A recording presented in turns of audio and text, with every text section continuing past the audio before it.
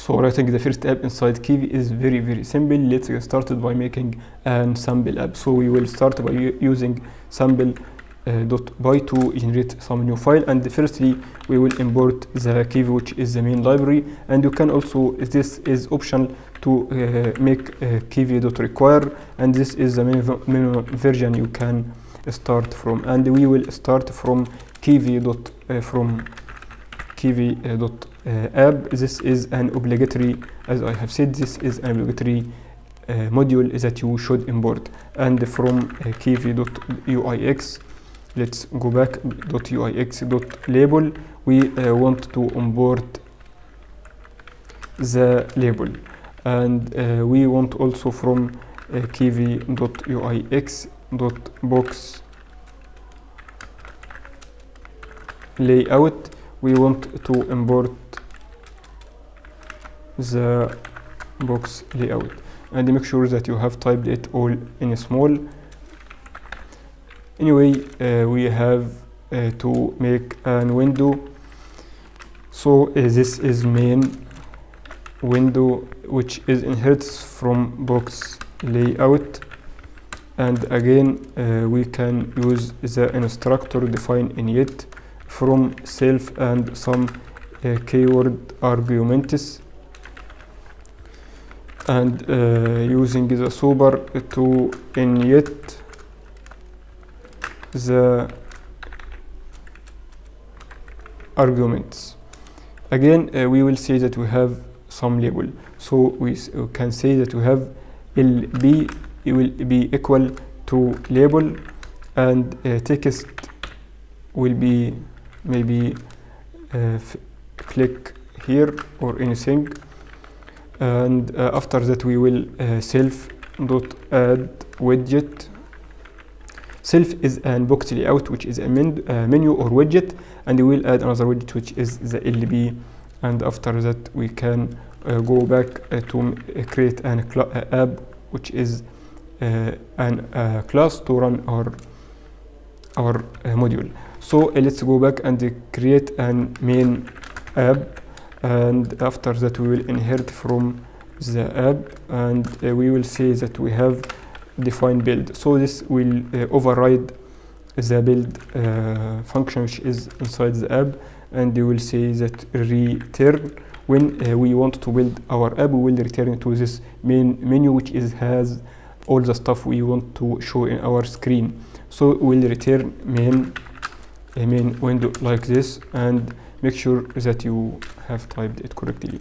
Finally we want to run our script. So we if main equal uh, this will be the main and we want it to run by using main app dot run such as this. And I think we are now done. And uh, let's go back also.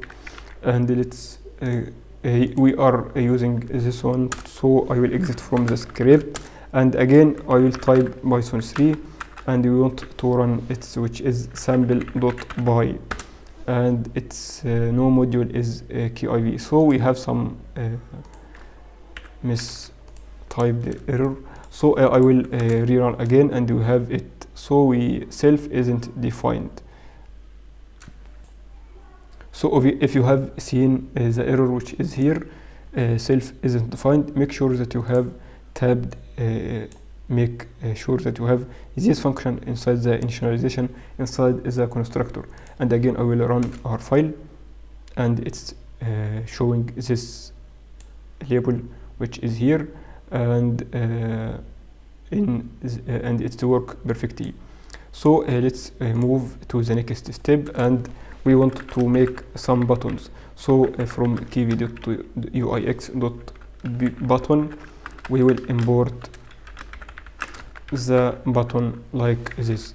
And uh, we have to say that we have another button which is here.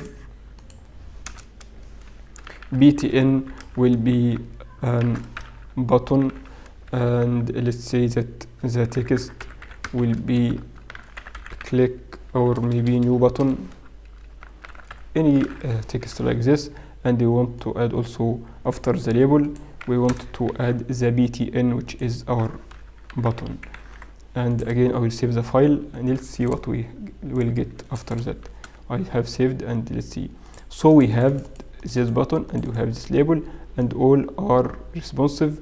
Uh, you can use in any screen and this is a benefit from using some uh, framework such as this alright uh, we are now done and uh, to be honest there is a lot of options and we will discuss later and uh, let's go to the next step and in the next lesson we'll see how you can implement an KV language. So the benefit from KV language is that you can separate the logic from the UI so you can using the uh, KV language to make an interface which is in separate file .kv like this and uh, there is some uh, limitation from using uh, all this. It can be done if you are using only simple screen but for a large app you should separate the UI from the logic. I hope you enjoyed this lesson. See you in the next lesson